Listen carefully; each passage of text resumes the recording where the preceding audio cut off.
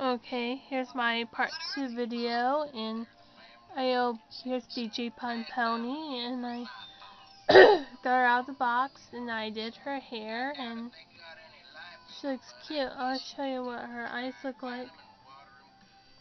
It's colorful of her eyes, so next is Pinkie Pie. She, I, her hair is a lot longer, and I think it's cute. Here's Pinkie Pie in Lily's Rarity. I mean, my third toy is Rarity.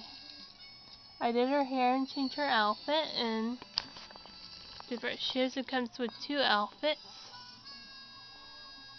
So that's Sunset Shimmer and I changed her outfit and her shoes. Well, I didn't change her shoes, but her shoes are right here, but she's different and well, her hair, well,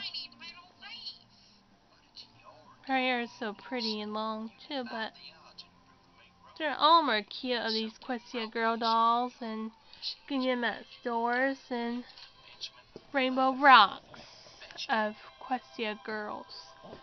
So that's my video of the Equestria girl dolls. Bye people! I mean my second video. Bye!